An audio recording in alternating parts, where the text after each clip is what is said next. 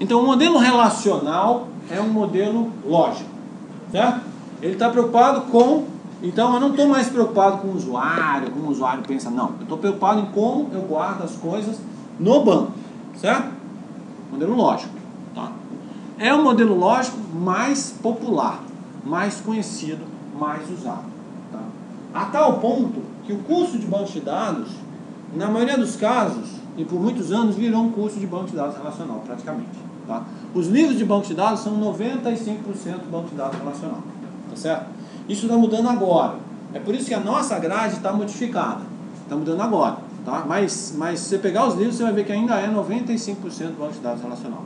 Porque o banco de dados relacional realmente ainda é extensamente usado, ainda é o mais usado, provavelmente o mais importante ainda. Tá certo? É porque depois eu vou mostrar para vocês que novas demandas têm estão, estão requerendo novas coisas e os outros bancos de dados estão crescendo em importância. Tá? Então, ele é o mais usado, ele foi proposto por Code em 1970. Você tem que lembrar desse nome, Code, ele é muito importante na área de banco de dados. Ele escreveu esse artigo, que na página está disponível para quem quiser ler, tá certo?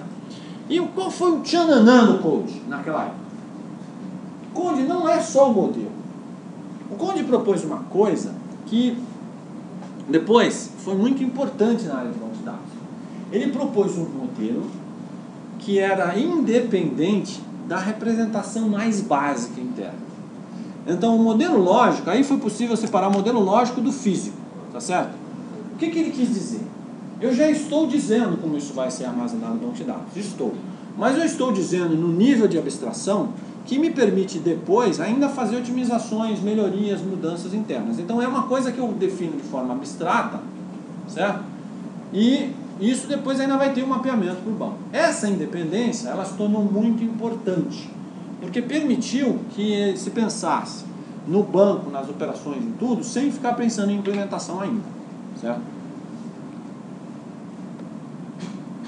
Então ele formulou e por isso que vale a pena ler o artigo dele, ele formulou o modelo inteiro, ele criou uma representação formal, e ele criou esse modelo sem implementar ainda. Certo? O banco de dados relacional só foi implementado muito depois, alguns anos depois. Ele só criou o modelo formal do banco de dados usando a, a teoria dos conjuntos. Tá certo? Então, como ele usou a teoria dos conjuntos, ele, ele disse: bom, o que é um banco de dados relacional? É um conjunto de relações. Certo? É, e a, só que a palavra relação cria uma ambiguidade, porque relação pode se confundir com relacionamento. Cria essa ambiguidade. É por isso que a gente chama relação informalmente de tabela. É uma tabela, ok? Mas na representação formal do banco de dados relacional, a gente chama de relação, porque isso tem toda uma associação com a teoria dos conjuntos, blá blá blá. Então chama de relação mas informalmente de tabela. Então vou usar o nome tabela agora para não deixar a cabeça de vocês meio piradora, tá certo? Então o que é uma tabela, certo? Uma tabela, note, eu estou definindo isso de forma abstrata e é esse o grande tchananã do Code. Ele definiu isso de forma abstrata, certo? Ele é um conjunto não ordenado de tuplas. Está gravando esse negócio? Tá, né? Tá. Ele é um conjunto não ordenado então, no modelo abstrato, ele não tem uma ordem de tuplas, certo? Onde não, presta atenção nisso, não existem tuplas duplicadas. Então, eu não posso ter duas tuplas que tenham, todos os valores iguais. Isso não é permitido. Isso, na verdade, tem muita relação com a teoria dos conjuntos, né? que o conjunto não vai ter dois elementos que são o mesmo elemento, certo? Então, é a mesma ideia. Oi.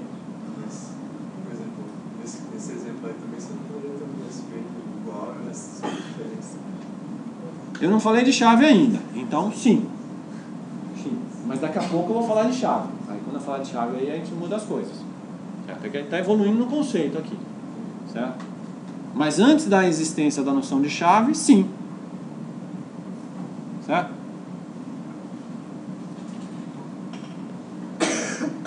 O que, que é uma tupla? Tá, agora eu vou falar da tupla, que é uma linha da tabela. Tá certo? É um conjunto ordenado de atributos. Então a tupla, dentro da tupla, os, os atributos são ordenados. Certo? Esses atributos são atômicos ele não pode ter e monovalorados. Então eles não podem ser um registro desmembrado em subcampos, não pode. No modelo relacional não pode. E não pode ser um vetor, não pode. No modelo relacional não pode. Tá? Ele é atômico e é monovalorado. Tá, eu, eu queria que vocês tentassem fazer esse exercício agora. Tá? Eu quero que vocês pensem uma grande empresa como a Petrobras, certo? E eu quero que vocês tentem imaginar quantas tabelas é, numa aplicação grande, complexa, quantas tabelas tem? Total de tabelas distintas e mais essas outras coisas aí. Deixa eu dar uma pausa. Então vamos lá. Esses, vamos ver. Não precisam corrigir aí não, tá gente? Porque esse exercício vai ser avaliado só pelo ter feito ou não ter feito, tá certo? Ué, não tem tudo aqui, né?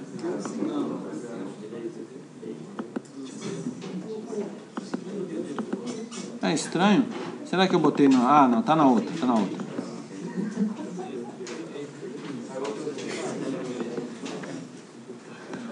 Ó, número médio de tabelas. 30 para uma aplicação, para cada aplicação 30 tabelas. 500 tabelas para uma aplicação grande, complexa. Tentem comparar com os números que vocês colocaram aí. Quem é que chegou perto disso? Alguém chegou? Alguns? Total de tabelas distintas, 10 mil. Tenta pensar. Você precisa ter gente para administrar isso, concorda? 10 mil tabelas. O cara fala assim, ah, eu quero criar uma tabela nova. Como é que eu sei se ela existe? Tem 10 mil tabelas. Média de atributos. 10 atributos por tabela. As maiores tabelas têm 80 atributos. DBAs envolvidos são 15 e 40 administrando os dados. Eu preciso ter um batalhão administrando os dados, porque senão. Né?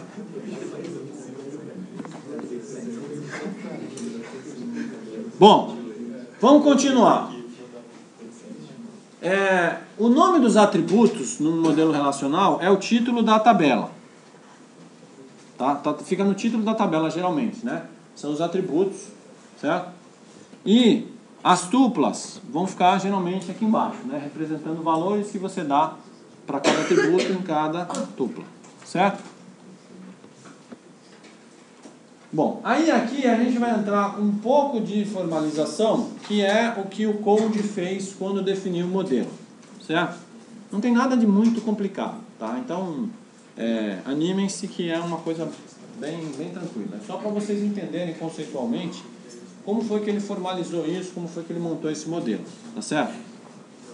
Então ele começou definindo o que é um esquema de uma relação, certo? Então, dado uma relação, lembrando que uma relação é uma tabela, né? Dado uma tabela, o que é o esquema dessa tabela? Esse esquema vai ser denotado por R, que vai ser o nome da tabela, ou da relação, se vocês preferirem, e uma sequência ordenada de atributos da relação. Certo? Por exemplo, se eu estivesse fazendo uma tabela livro, de livro, né?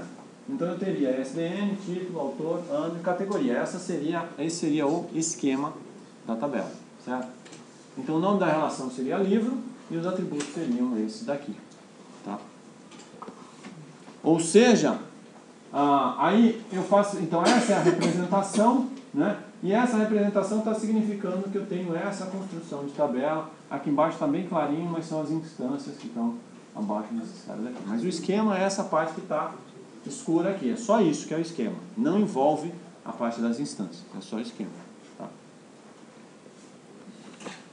É, quando eu faço o esquema, eu tenho o que se chama domínio dos atributos. Certo?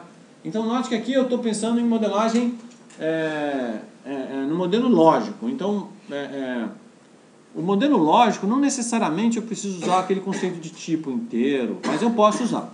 Mas eu posso definir um domínio assim, olha. Qual é o domínio do ISBN? Então eu boto, domínio de um atributo é T de um atributo, certo? O que é um domínio? Vai ser o conjunto dos valores atômicos daquele atributo, certo? Então, um domínio de um atributo AX, certo? É, um domínio tem uma definição lógica. Domínio, por exemplo, do ISBN, certo? Então, vai ser um identificador de até 13 dígitos, certo? É, domínio do título pode ser associado a um tipo de dados, uma string de até 100 caracteres. Domínio do ano, inteiro de até 4 dígitos. Então você pode definir domínio dessa maneira. Tá? É, uma anotação usual para você fazer, se você quiser colocar os tipos, é assim, ó. Você coloca o nome da tabela, o, o atributo dois pontos tipos, vírgula, atributo dois pontos tipo e assim por diante, tá certo? Essa é a forma usual de você fazer, ah, se você quiser botar tipos, na anotação do esquema, tá? Então, o nome do atributo vai indicar o significado dos valores do atributo e o papel é, e o papel que vai ser realizado num certo domínio. Bom, agora a gente vai falar da instância. Presta atenção porque isso é muito importante no modelo relacional. A instância é uma tabela específica com dados que segue um certo esquema, certo? Então, dado um certo esquema, eu vou ter uma tabela lá que segue aquele esquema, certo? Essa separação ela vai ser muito importante. Quando a gente for operar banco de dados, a gente pode criar o esquema e depois a gente vai criar as instâncias para aquele esquema. São duas coisas diferentes vocês têm que diferenciar. Então, uma relação Rzinho de um esquema R, certo? Então, Rzinho é, é, são os dados, são as instâncias de um esquema R. É também indicado assim, Rzinho entre parênteses Rzão. Tá? É uma tabela Rzinho de um esquema Rzão. Vai ser um conjunto de tuplas, certo? Em que cada tupla vai ter uma lista ordenada de valores, certo? Certo?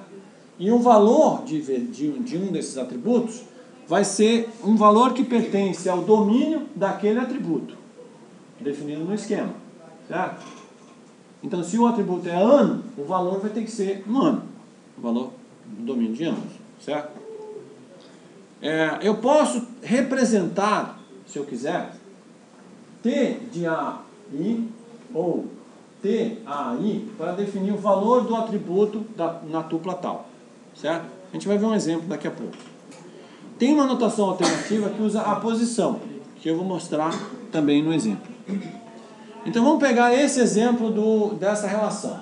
Então a relação que a gente acabou de ver de livro.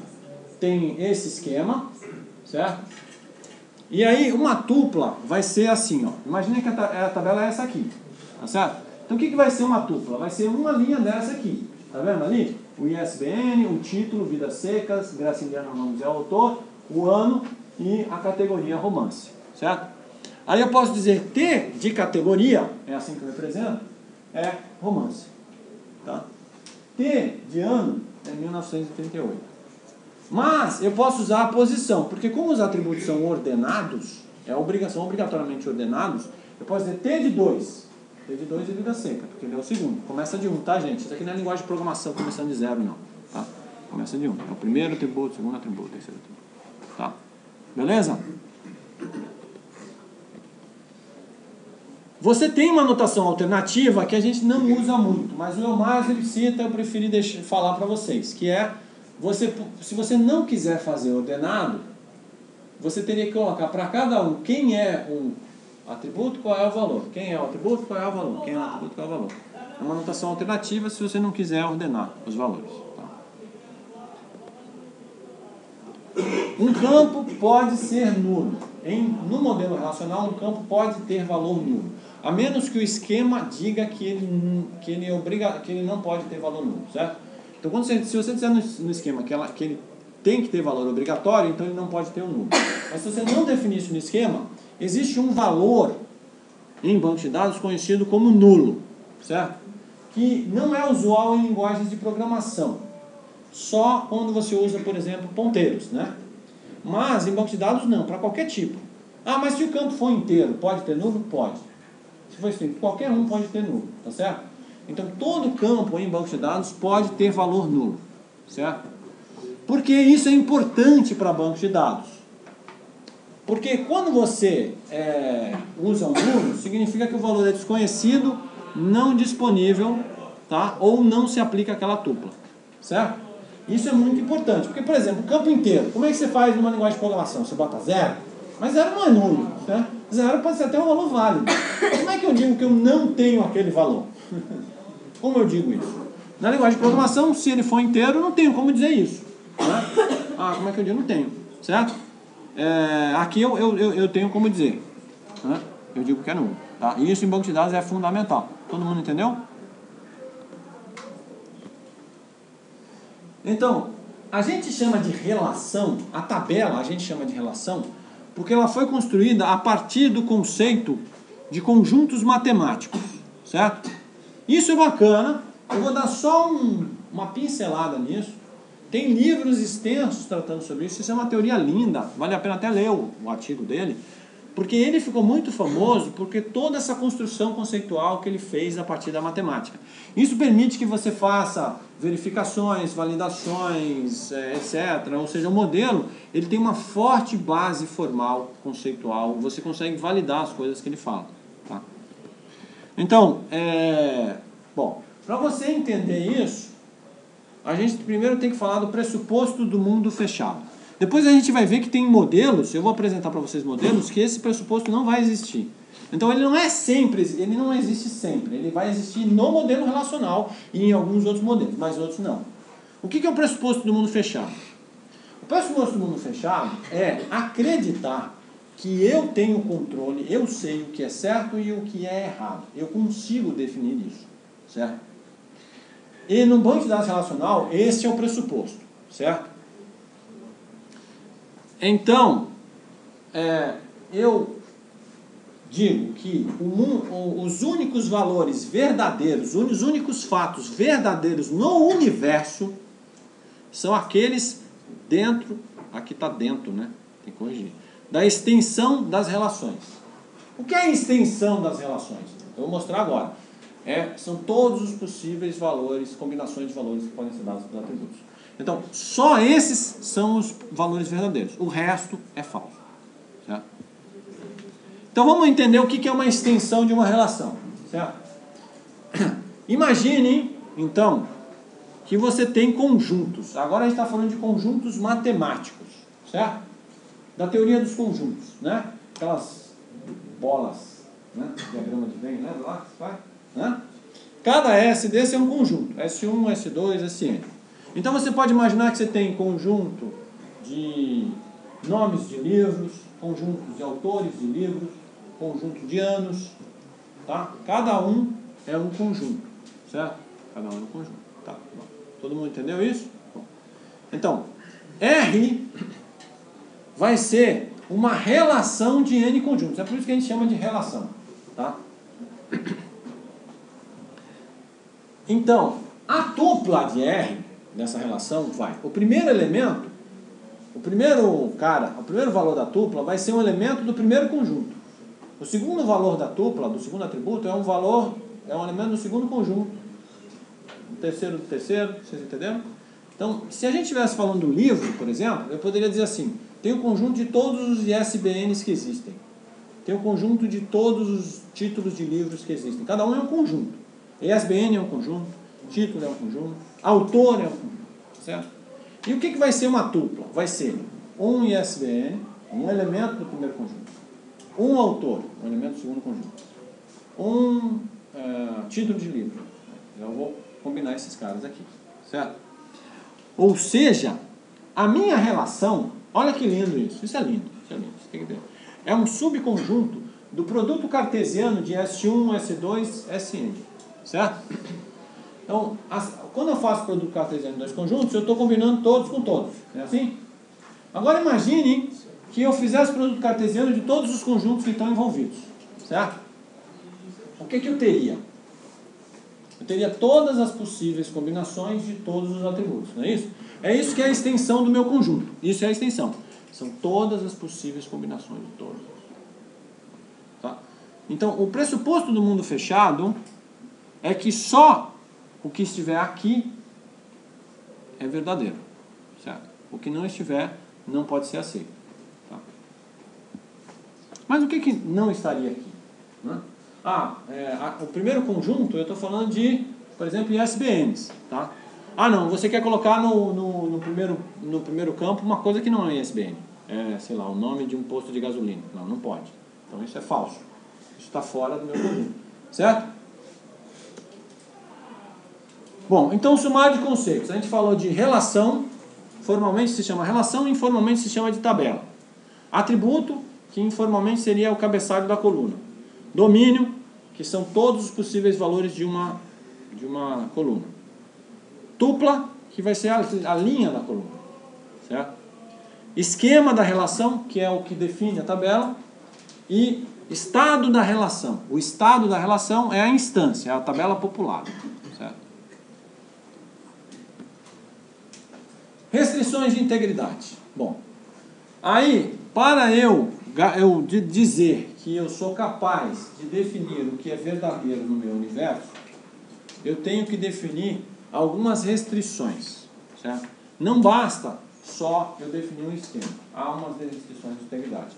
Que a gente vai falar de domínio, de chave, de integridade de entidades e de integridade referencial. Tá? O que é uma restrição de domínio? Primeiro, Lembra que eu falei para vocês que os valores têm que ser atômicos e não podem ser multivalorados? Isso é uma restrição de domínio. Você não pode, certo? É, então ele tem que ser atômico, não pode ser decomposto em partes menores e não pode ser multivalorado.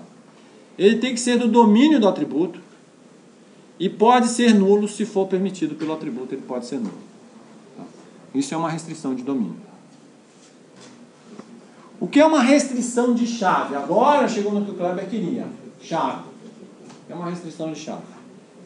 A chave é uma coisa que identifica tuplas e vai ser usado para estabelecer relacionamentos entre tabelas. Então a gente vai criar agora o conceito de chave como uma coisa que a gente vai usar para identificar as tuplas, certo?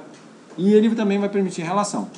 Depois eu vou mostrar para vocês uma coisa muito importante, que o Code, ao definir o modelo relacional, ele criou uma associação leve entre tabelas, né?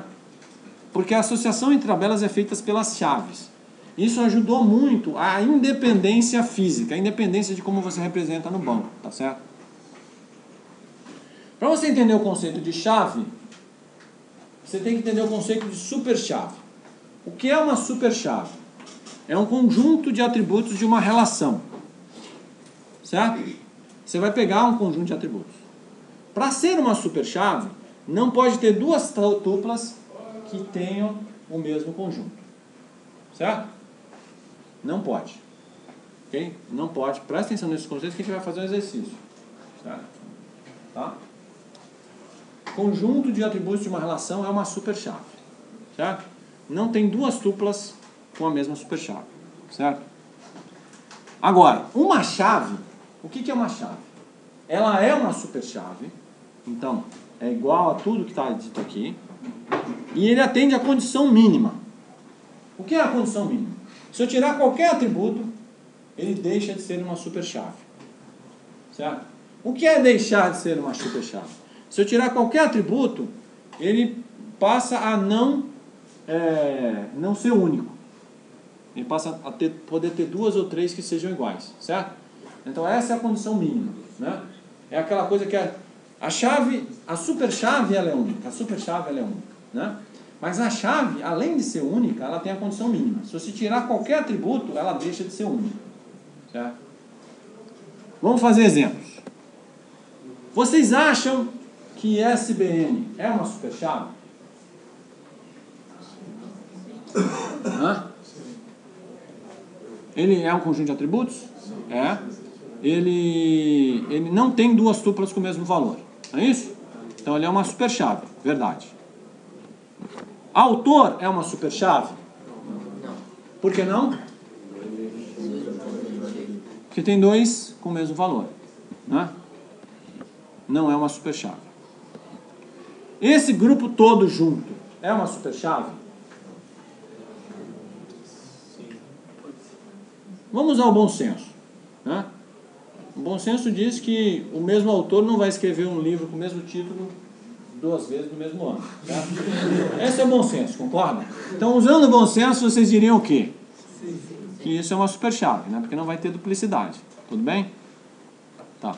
Isso é uma chave? Não.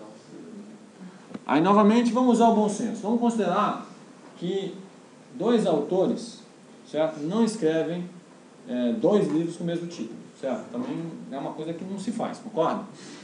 É, então isso é uma chave?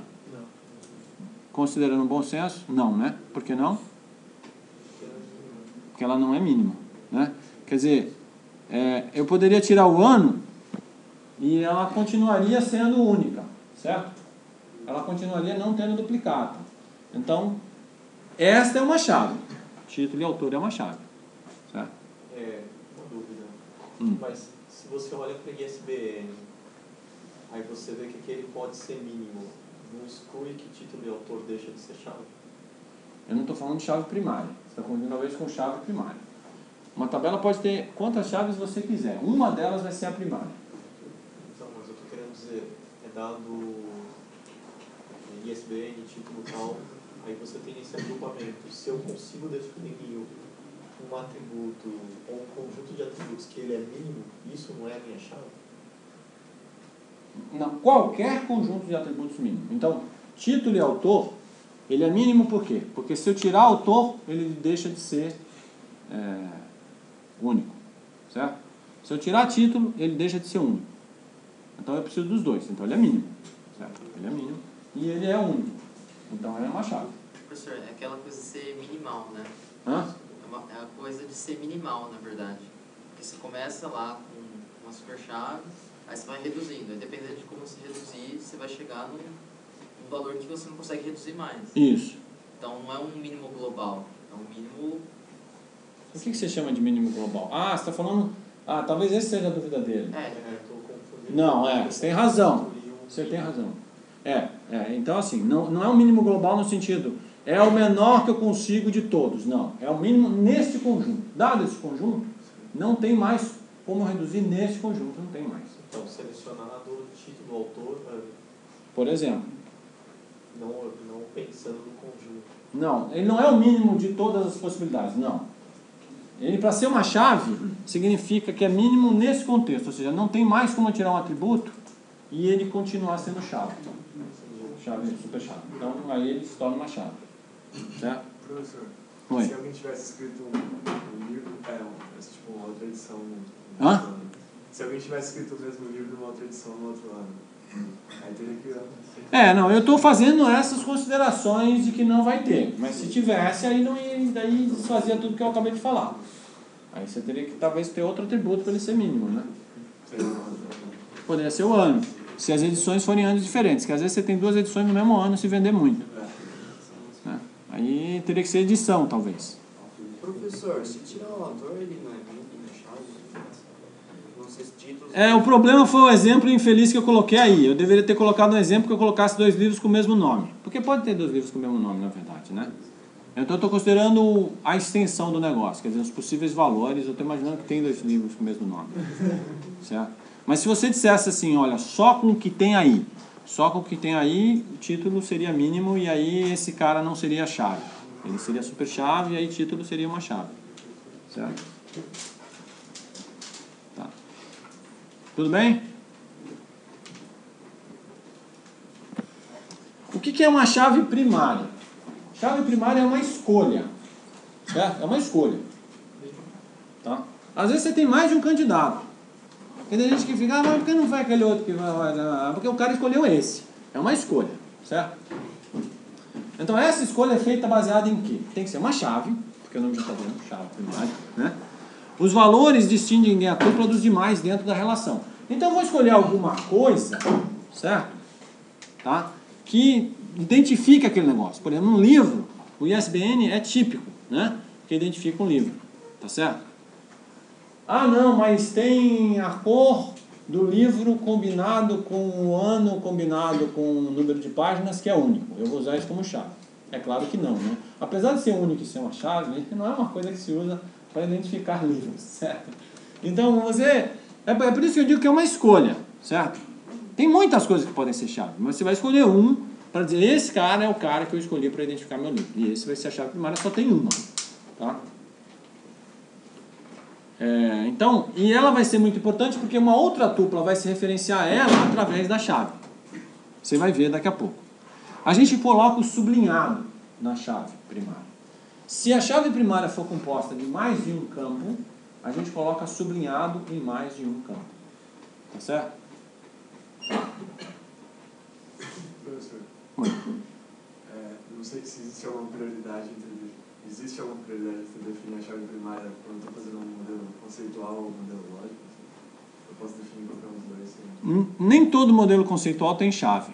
Né? A entidade de relacionamento tem, que ele não chama nem de chave, ele chama de campo identificador, alguma coisa assim. Tá? E, mas o, o, o orientado a objeto não tem, por exemplo. Não tem chave. Não é uma exigência do modelo conceitual ter chave. Tá? Aliás, não faz nem muito sentido definir chave é, no modelo conceitual. Tá? É, eu acho que a entidade de relacionamento definiu isso por uma influência, talvez, do, do modelo relacional. Eu não sei nem se no artigo original do Peter Shen ele fala de campo identificador. Porque isso é muito mais para quando você vai armazenar. Né? Quando você está definindo conceitualmente, não tem muito sentido. né? Certo? Então, essa é a chave primária de livro. Né? ISBN, por exemplo. Você escolheu chave primária. Tá? Você pode criar um código às vezes, tá certo? Ah, eu não tenho um campo para usar. Ah, cria um. Chama código, chama qualquer coisa. Você vai criar um campo que vai identificar unicamente e você usa ele. Tá? É, bom, exercício agora para vocês entenderem. Quais são as superchaves dessa relação? Rapidinho.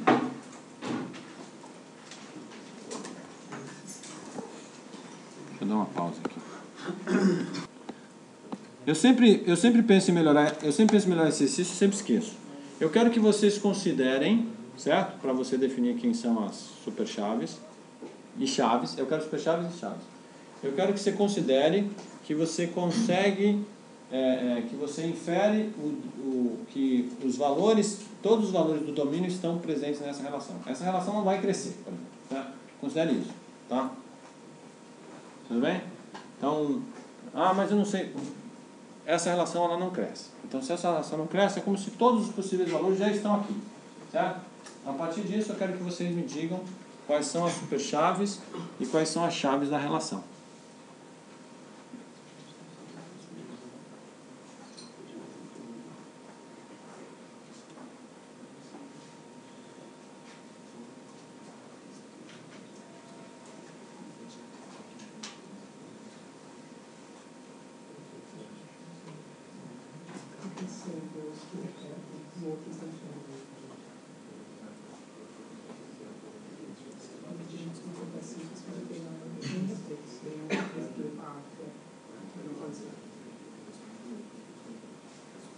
Conseguiram?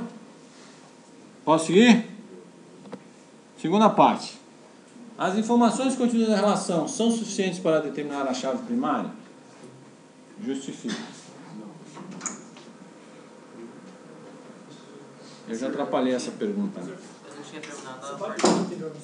Eu sempre esqueço da primeira parte por causa da segunda parte. Toda vez que eu faço, eu esqueço que quando eu falo isso, eu estrago a segunda pergunta.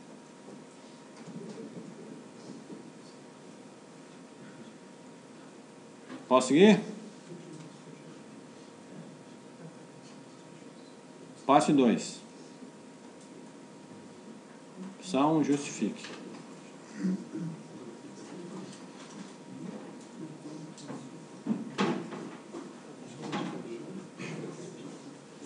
Justificativa de uma frase, tá, gente? Pelo amor de Deus. Que tem o cara que começa, prezado professor, tendo em vista os valores disponíveis na tabela e a análise feita por mim durante a aula, concluí que. Parte 3. Uma relação.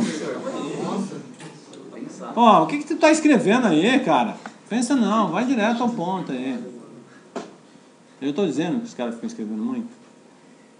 Dileto professor. Ô professor, eu não sei isso aí não. Não sabe? Então põe que não sabe. Porque se eu responder pra você, eu tô fazendo exercício pra você, concorda? Não, mas o que, que era chave primária mesmo? Hã? Ah, essa é a pegadinha. Era pra ver se você não tá na proteção de tela. Você tá na proteção de tela. Depois você assiste o vídeo e vê. É pra isso que tem o vídeo, né? Agora eu posso ir pra parte 3, senão a gente vai ficar o dia inteiro nessa questão aí. Parte 3. Uma relação sempre terá uma chave? Ah, essa pergunta é linda. Essa pergunta é linda. Essa pergunta só responde quem prestou atenção na aula toda. Justifique. Não é só sim. Sim. Não. Não, pera. Justifique esse negócio. Justifica, hein? Porque só responde essa pergunta quem prestou atenção na aula toda. Quem não prestou atenção vai querer me perguntar uma coisa que eu não vou responder. Essa podia ser uma questão de prova que eu acabei de gastar. Só se tiver de Põe um. Aí você vê quem tá prestando atenção, né? É, essa, essa questão eu vou olhar um por um. Vou botar lá, fazer uma lista. Esse aqui estava, esse não estava, esse estava na proteção de tela. Posso seguir adiante? Hã? Ah, pode, vai. A justificativa é simples. Não? O Kleber tá ali de boa porque é ouvinte. O ouvinte também tem que fazer exercício, viu? É, eu faço entrega. Ah! Tá. Vamos, vamos agora. Já, já estamos perto do final, tá, gente? Vamos fechar só para terminar esse assunto hoje, para não ter que fazer o restinho dele na próxima aula. Então, banco de dados relacional. Se eu agora quiser ir para um banco de dados, veja, eu falei para vocês de uma relação. A gente estava olhando sempre uma relação, uma tabela, certo? O que, que é um banco de dados? Certo? Olha só que o banco de dados agora é o pacotão grande, certo? Então, o banco de dados relacional vai ser um conjunto de esquemas, certo? Lembram que é lá os esquemas? Né?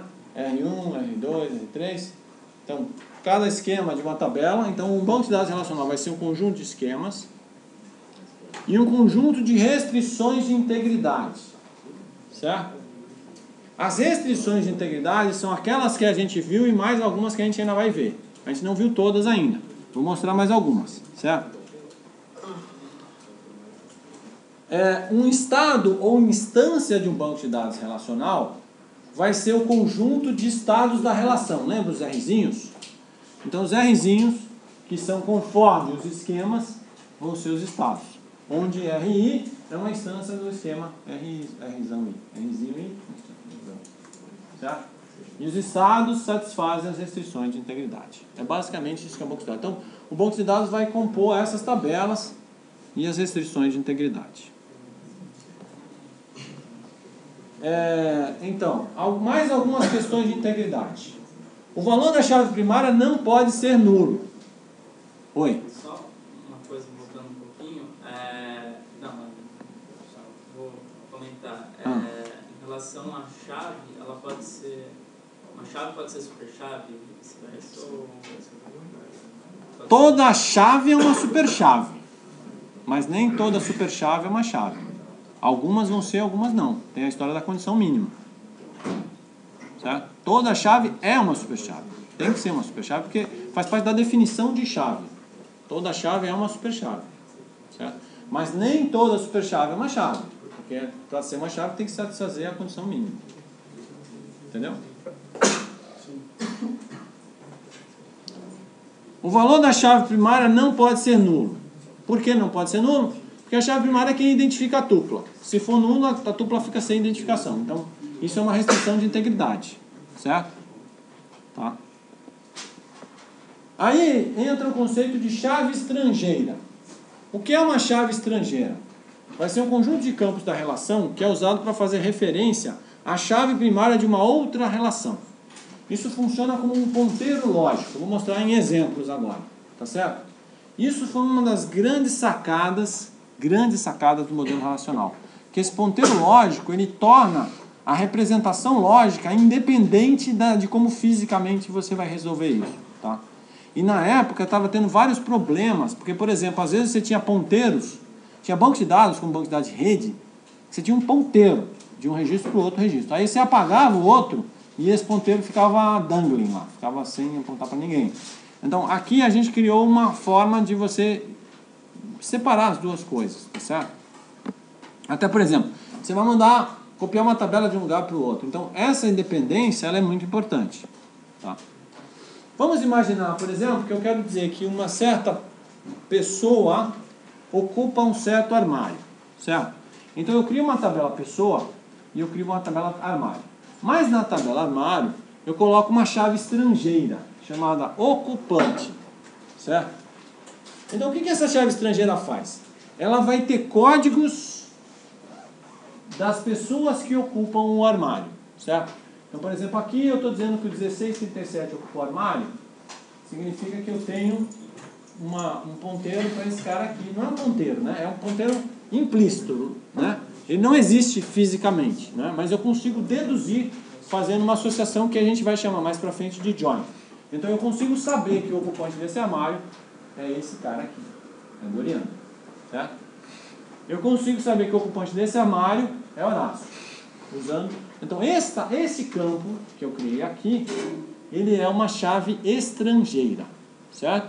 Não tem uma simbologia específica para a chave estrangeira. Depois eu vou mostrar o jeito para vocês que eu uso para escrever isso. Mas então, se for nulo, se tiver a possibilidade de ser nulo, significa que pode ser que tenham armários que ninguém ocupe. Certo? E aqui, e aqui também eu estou dizendo que cada armário só vai ser ocupado por uma pessoa. Né?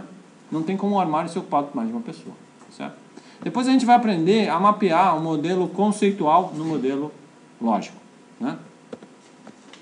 Eu posso até criar, e a gente vai aprender a fazer isso, tabelas que ligam duas coisas. Suponha que várias pessoas podem ocupar vários armários e vice-versa, só que em datas diferentes. Tá certo? Foi uma coisa que Jéssica acho falou até na aula passada, retrasada, né? Então, eu posso criar uma tabela no meio que tem uma chave estrangeira para essa, uma chave estrangeira para essa, então ele está ligando uma pessoa a um armário e tem uma data e uma hora por exemplo. Certo? E observem aqui uma coisa curiosa, e eu quis mostrar essa tabela. A chave é ao mesmo tempo primária e estrangeira. Pode? Pode. Certo? Então essas duas juntas são uma chave primária, as duas juntas, tá certo? E cada uma delas é chave estrangeira para uma tabela. Tudo bem? Professor, o senhor falou que as duas juntas formam uma, uma chave primária. É. Mas não poderia ter a mesma pessoa ocupando o mesmo armário numa data diferente? Neste caso, se eu fiz deste jeito, não. Não. Como é que eu poderia fazer para suportar o que você está falando? Então, porque na verdade aí não seria chave porque poderia ter uma outra dupla que tivesse a mesma. Não vai poder. Do jeito que eu defini, não vai poder. Agora, se eu quisesse que dá, pudesse, o que, que eu teria que fazer? Você teria que aumentar a sua chave para comportar, sei lá, data e hora. Isso. Data e hora. Ou, hora eu posso não colocar porque não é possível, né? Duas horas diferentes no mesmo dia seria demais, talvez. Então, eu poderia colocar data na minha chave primária. Aí, se eu colocar data na minha chave primária, aí a mesma pessoa pode ocupar o mesmo armário em duas datas diferentes. Certo? Aí sim. Mas do jeito que está aqui, não. A pessoa só pode ocupar o armário, o mesmo armário, uma única vez. Certo? Tá? Essa é uma boa pergunta. Porque isso aqui é muito. A gente vai ter que treinar muito isso na hora de definir as chaves. Isso é muito importante. Tá? A gente vai estudar isso mais no mapeamento. Para poder fazer as cardinalidades, a gente vai ter que ficar mexendo na chave. Tá? É, uma tupla. Então, o que é uma integridade referencial? Uma integridade referencial quer dizer que uma tupla tem que referenciar uma tupla existente. Eu não posso ter uma chave estrangeira que aponta para uma chave primária que não existe. Isso é integridade referencial, certo? Então, o valor da chave estrangeira tem que corresponder a uma chave primária que existe. Oi. Mas o valor de um campo dessa chave pode ser é. Só se a, se a chave estrangeira permitir. Se a chave estrangeira permitir, ela pode ser nula. Mas se ela tiver valor, o valor tem que existir do outro lado. Tá? Tá, aqui é um outro exemplo de chave estrangeira, mostrando como uma corrida pode ligar um certo cliente a um certo é, táxi numa certa data. E aí entra o seu caso. Está vendo que a data aqui está tá na chave primária? Por quê? Porque eu posso fazer o mesmo cliente, pegar o mesmo táxi em dois dias diferentes. Tá? Mas não pode ser em horas diferentes. Aí senão eu teria que botar a hora e aí vai. Tudo bem? É problema lá do. Pronto. Esse exercício, agora já estamos no final, eu vou deixar para vocês fazerem em casa. Tá? Esse exercício. Vocês fazem depois. E a gente corrige. Entreguem.